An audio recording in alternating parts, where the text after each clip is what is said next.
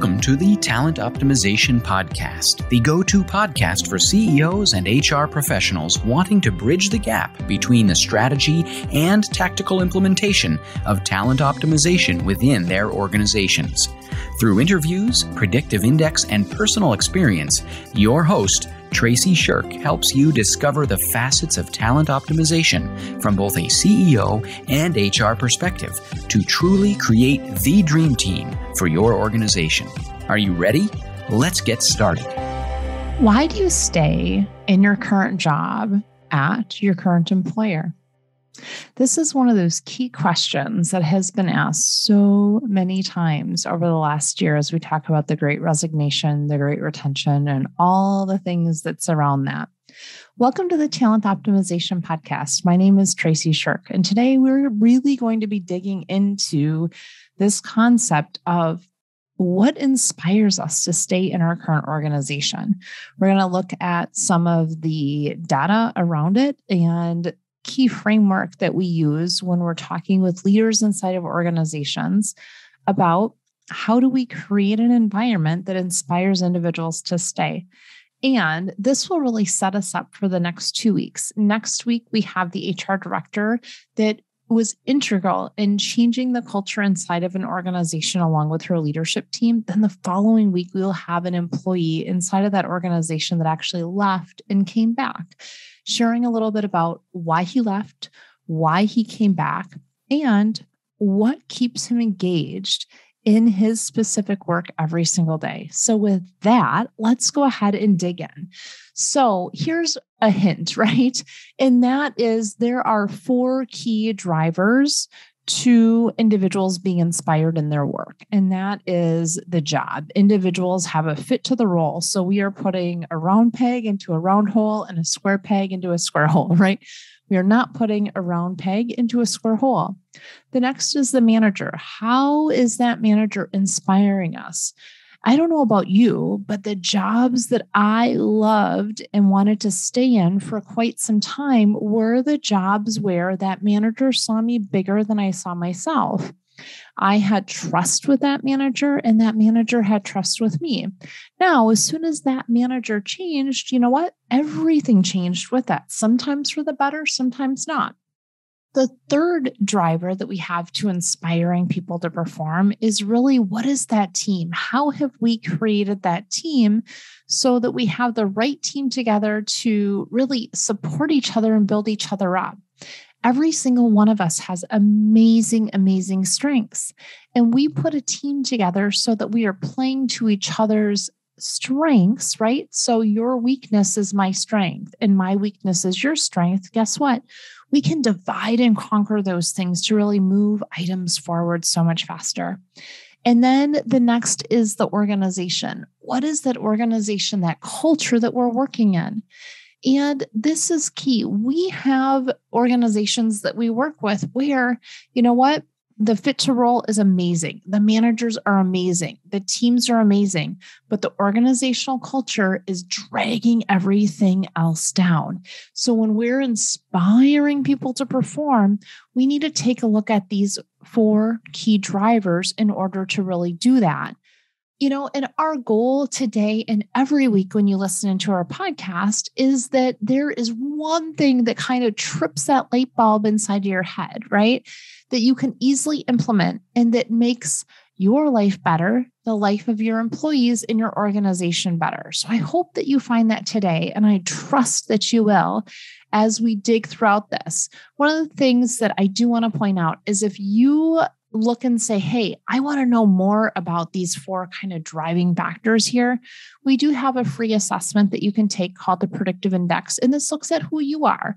Once you know who you are, we can match that to what the job needs, what the team needs, and what the organization needs. So, we're talking about how we inspire individuals to perform. And so often that is specifically measured through engagement. And we've talked in the past about what engagement is. And I just want to do a quick reminder before we dive in today. So we've got some giants, right? So Quantum Workplace defines engagement as the strength of the mental and emotional connection employees feel towards their places of work. Gallup defines engagement as Engaged employees are those who are involved and enthusiastic about and committed to their work and workplace. Willis Towers Watson states engagement is employees' willingness and ability to contribute to the company's success. And Hewitt states that employee engagement is the level of an employee's psychological investment in the organization. And what we say so often here at Elevated Talent Consulting is engagement is that difference between the want to curve and the have to curve, right? So if you have employees coming to work because they have to for a paycheck, right? Guess what? The pay is not necessarily a driver or a motivator, right? That is something that individuals have to have. What we're looking at when we inspire people to perform is we're looking at those things that engage them, that light them up, the trust, the being able to be fulfilled in their work, the ability to make an impact in those individuals that they're serving and those clients that they're serving. And that gets us to the want to curve. When we put a team together where that team is so committed to each other because we know that one plus one doesn't equal two necessarily in the situation, it's 11, right? And when we look at that, we see, oh my gosh, we put this team together and they are lifting every other single person up. And that is where we see engagement. So, as we look at some trends, SHRM in 2017 really talked about the biggest driver of engagement was successful, respectful treatment of all employees at all levels, followed by compensation, trust with the manager and the leadership team, then feeling safe in your work environment and the ability to use skills and abilities in your work. So, right there, guess what? We just covered those four drivers of engagement and how we inspire individuals, which was the organization, the manager, the team, and fit to role within the job. So, when we look at the impact of an individual being engaged versus an individual being disengaged, does this specifically matter? And one of the things that I love about SHRM is they will put out these fancy little charts. And they have a fancy little chart on engaged behaviors versus disengaged behaviors. So let's look at them. The engaged employee has a behavior of being optimistic, and the disengaged employee has a behavior of being pessimistic, right? They're absolute opposites. So we're also looking at that and saying, what other behaviors are there? So I'm just going to read the list of engaged, then I'll read the list of disengaged here. Engaged are optimistic, they're team oriented, they go above and beyond, they are solution oriented, they're selfless, they show a passion for learning, and they pass along credit, but they accept the blame that comes to them. Individuals that are disengaged typically are afraid of something. There's some sort of fear that they're trying to protect, right? And this is how those those drives show up in the behaviors. The pessimistic, self-centered, high absenteeism, negative attitude, egocentric. They focus on monetary worth and they accept credit, but they pass along the blame to others. So when we look at this and we say, hey, how do we inspire others? One of the first things to look at is ourselves and say, hey, are we engaged in our work? As the executives running your organizations and the business owners listening in today, and as the HR professionals, I first and foremost want to say, where do you see yourself in this specific list? do you see yourself on the engaged side or do you see yourself on the disengaged side? Because guess what? You are looked up to, you are replicated, and you are seen as leaders inside of your organization. Yes, I'm talking to you, the HR assistant who's been in your role for six weeks, right? You're still in a seat inside the organization that you are seen as a leader. And this goes all the way up to the business owner and to the CEO. And how we show up to work every day has a significant impact on those around us. And this impacts, guess what? The organizational culture. So, with that being said, when we're inspiring folks to perform, when we are looking at how are individuals engaged in their work, because guess what? If we're not engaged in our work, we're probably not going to hit the business outcomes that our organizations need and that our clients expect. So we really need to take a look at this and say, where are we in all of this? And once we know where we are firmly seated, we can say, hey, what do I need to change for me so that we can change this for the entire organization if needed? And the flip side of this is what's going really well. And let's celebrate that. So often we're focused on the negative things that aren't going well, that we're not celebrating the things that are going well. If you have a team in your organization that is clicking on all cylinders, thank them for that. I will tell you that we have a team together inside of Elevated Talent right now that is clicking, and it's amazing what we can get done and how we're serving our clients to such a high level. So, with that being said, celebrate those successes. Now, let's do a circle back around to those four drivers that we talked about at the beginning. And that is as we look at our organization, do we have the right people in the right seats? And this is the alignment to the job. And a lot of times when we chat with clients and prospects and organizations, we're specifically looking at something called a fit gap analysis. Who's a fit to their role? Who's not a fit to their role? And not necessarily a bad thing if they're not a fit to their role, but what are those slight changes that could potentially be made that are going to best serve the organization and best serve the individuals inside of that specific role? The next is hey, how are your leaders, your managers, supporting their direct reports? And guess what? Management is not a skill that we you know, are born with. Leadership is not a skill that we are born with, it is something that is learned. And are you supporting your managers to really lead their staff the way they need to be led, right? This distinction between the platinum rule and the golden rule. The golden rule treat others the way you want to be treated, and the platinum rules treat others the way they want to be treated. The way I want to be managed may not and probably is not the way my manager wants to be managed or needs to be managed. So it's something we really have to take a close look at and say, hey, what do we need to do with this? And you know what? It doesn't necessarily have to be hard, especially when you have an easy button where you can look at this and say, ah, this is what this person needs. And it's as simple as asking them, what is it that they need? And then when you're having your monthly conversations, to follow up and say, all right, how am I doing? Leading you the way you need to be led. Here's things that went really well this month. Here's some things that maybe didn't go so well, right? Because guess what? Good leadership is not being Pollyanna. It's not being positive all the time. It's naming what is so and loving on people so much that they know exactly where they stand and how to move forward in a motivating way so that they can meet their highest potential. And so can you as their leader and the organization. So, and then we're going to talk about the team.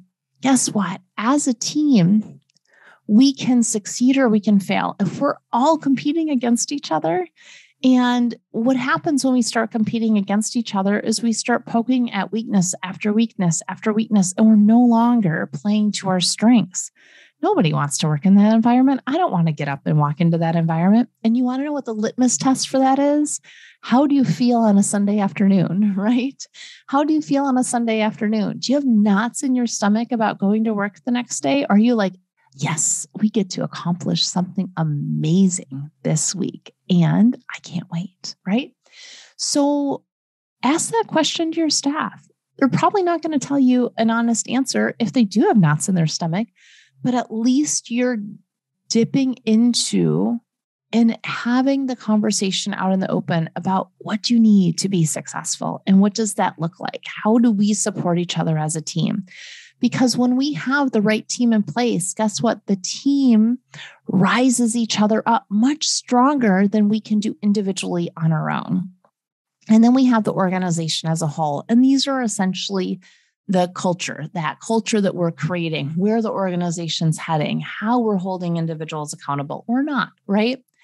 And Brene Brown has been chatting with us for a couple years now on authenticity and creating spaces where we have a strong back and a soft front. And what that really means is, as leaders, we need to be strong in what it is that needs to happen. But we need to be authentic and heart centered as far as how we connect with others, how we motivate them, and sharing our stories, right? Because guess what? When we share ourselves with others, it's something that they want and need.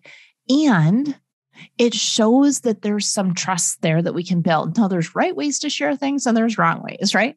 If you're going to share something vulnerable, make sure you're all the way through it first. You're not sharing something that you're completely in the middle of and still have some negative energy around, right? But when you can share those stories of how you worked through something and what you learned from that, you motivate others because guess what? Life is 50 50 it's not always fantastic, but it's not always crappy either. And I know you're going to walk into people that their life seems to be, you know, a craptastic show 100% of the time. It's not, unless they choose for it to be. But life's not perfect all the time either. And ensuring that we can see that, especially at work, and really support each other. And asking the question as to what do you really need right now? Because we never know what's going on with another person, right? I had a conversation with a really good friend this week who shared with me some things that she's going through. And guess what? They're kind of craptastic. But we were able to have a conversation and kind of just say, hey, whatever you need, just call. I don't care what it is. We can watch Disney movies and drink wine. We can laugh. We can do whatever. Right. And so often it is the same thing in the workplace when you have that strong relationship on a team because you're all rallying for each other and you're doggedly committed to meeting those business outcomes. You know, as the pandemic has shown us over the last year, two years, however long it's been, you know, we've really seen the cats come across the screen. We know which cats love the screen, right? Which love the Zoom screen. We know the kiddos and the, the, the, the type of cereal that they love to eat all the things that we didn't know before. We saw the working conditions of some of our staff that were like, oh my goodness, I want those cabinets. And the others were like, how can I help? What do you need? With still showing them the empathy. And when they have pride in something that happened at home, guess what? We have pride in that too. So, guess what? Life and work is integrated, you know, and as my coach would say, it's all the same pot of soup. So, leaders, as leaders, we have an obligation to inspire. And telling those personal stories helps lead to more trust in relationships. The research tracks three key drivers of trust it's authenticity, logic, and empathy. And we tend to trust people who believe are acting as their real selves and demonstrating empathy. Increasing realness and humanity by sharing personal stories is one powerful way to build trust. And this is a quote from a Harvard Business Review article, and it was from Gia Store. And I love that because it's essentially sharing and showing that those personal stories as leaders, guess what? They help to motivate the staff that we're working with. And so, with that, there are a couple things that I just want to chat about with that storytelling, right? And there's a very specific recipe to that. I always want you to leave these podcasts with a couple kind of big ahas, right? The light bulb went off. And if you've had any of those so far, you know, send me an email, tell me about it, reach out, put it on the comments underneath our podcast. So there's kind of a recipe to this, right? You want to cultivate your top stories about failure because stories of failure help us relate, normalize setbacks, and create intimacy because we can connect with another person. We want to incorporate vulnerability in real time. How do you do this? You say, Hey, my feeling about this is it feels scary to share this, but, or I hesitated to bring this forward because, right? And then you can start to build that connection. And then you want to share what's on your mind, what's going on. So, something that I want to share with each of you as you look at how do you engage staff inside your organization is I didn't always do this well. And there's times where I still don't do it well, right? But what I have found is when I am completely stressed out and moving way, way, way, way, way too fast, I tend to bulldoze those individuals that are on my team or around me, and I miss deadlines, right? But here's the deal what I have learned is that when I can prioritize and ask my staff and say, hey, this is what I need help with, they are always willing to do so. And when we create that culture inside of our organization, it sends a message that that's okay for them to do it too. And one of the things that we have done over the last couple of months is we've set out our weekly meetings that specifically start and ground ourselves in what are our core values? How did that show up in our day to day working this week with our clients and with each other? You know, what's a client curveball that showed up that we just didn't know how to handle? And what are the thoughts from those around the room? Where are we at with capacity? Who needs some support? Who has some capacity that they're willing to lend that support? And then how do we all win and how do we celebrate those wins, right? So, those are some of the things that we're working on that are really working to engage staff and ensure that we're providing that highest level outcome. So, as we start to kind of land the plane here, what's a key actionable takeaway for our executives listening? And I really hope that you take away that authenticity and being authentic with your staff about what's going on, what's needed, and motivating in a way that is that that connection. And then for HR, you know, you want to be real. You want to be mission driven, go back to your core values and then what specifically impacts engagement? Because there's some things that have a much stronger impact to engagement than others. And it specifically goes back to are individuals in the right role? Are they working with a manager that inspires them? And this is a two way street, right?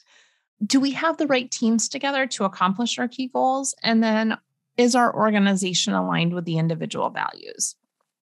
So now that we've laid that groundwork, we want to hear, you know, some stories about how this was put into action.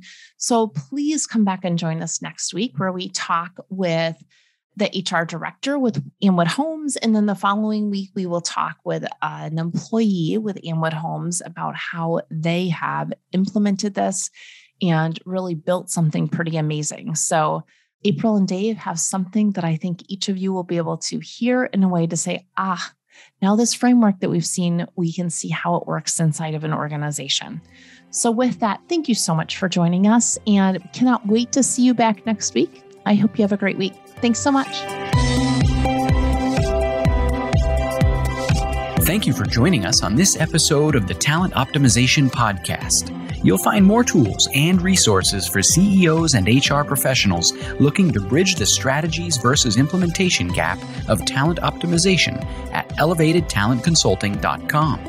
We've also created a free, valuable resource for you to begin bridging the gap called the Talent Optimization Foundation Membership Program. You can access it for free at elevatedtalentconsulting.com forward slash foundation. Be sure to tune in next week for another episode to learn more about talent optimization and creating a dream team for your organization.